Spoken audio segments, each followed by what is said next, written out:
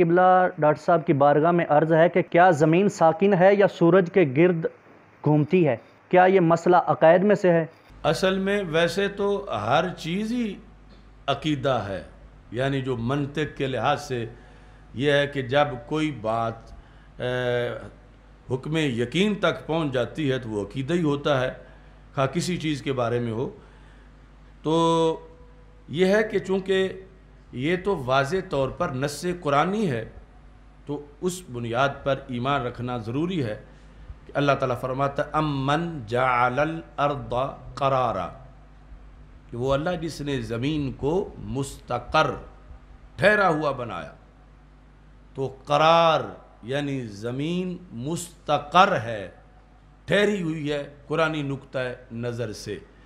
बाकी साइंस जो है कभी द सन इज़ स्टेशनरी कहती है, कभी किसी नज़रिए की तरफ़ जाती है तो इसमें कौल फैसल ये है कि हम उसके ताबे हैं, ला तब्दील अल कलिमात अल्लाह के कलिमात में कोई तब्दीली नहीं है।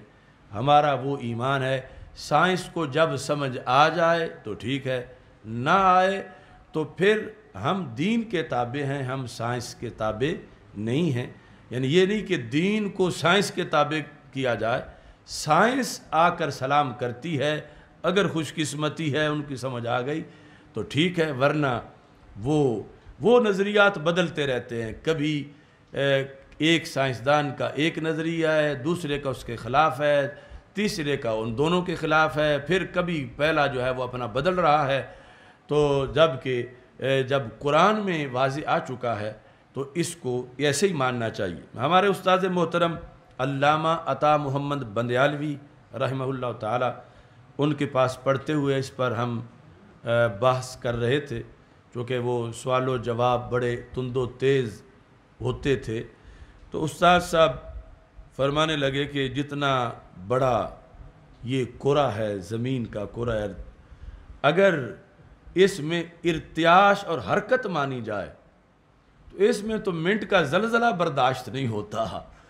तो ये सारी ही अगर चक्कर लगा रही है तो इतना बड़े वजूद से तो हर हर कोने पर अंधेरियाँ आ जानी चाहिए। क्योंकि एक तो है ना, छोटा सा पहिया हरकत कर रहा, एक है बहुत बड़ा, वो जिस पर झूले लगे हैं, वो हरकत कर रहा हो।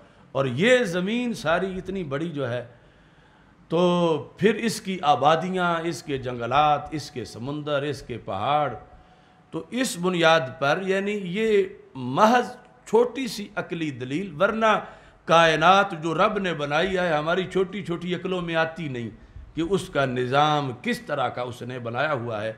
ये ताबे कुरान के होते हुए ये दलील दी, वरना अमन जाल अर्दा करारा, हमें तो इस पर ही करार है। कि अल्लाह ताला ने ज़मीन को मुस्तकर फरमाया है। दुनिया में लगाने निकले।